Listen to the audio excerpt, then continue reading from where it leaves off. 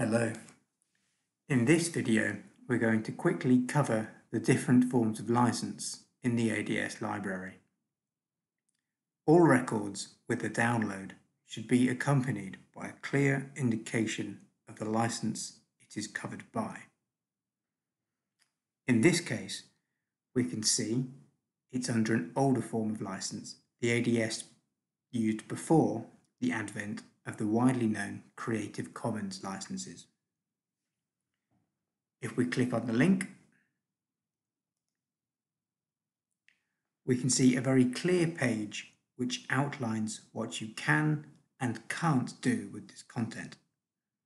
As you can see, it's a very permissive license that encourages reuse and citation, pretty much in line with more popular forms of Creative Commons. However, for simplicity, in 2017, the ADS began the move towards using Creative Commons licenses as our default for new collections.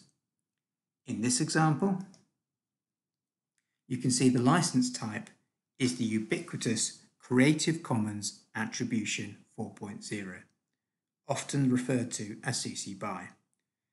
The link takes you to the Creative Commons websites where you get a clear guide on what you can do with the content with the proviso that attribution is always given. Some series or individual records within the library have different forms of CC license where the depositor feels it appropriate. For example, with this record, it uses a variation of CC BY called non-commercial. The terms of this license state that you may not use the content for commercial purposes, that is, a use primarily intended for or directed toward commercial advantage or monetary compensation. All information about ADS and CC licenses are to be found on the respective websites.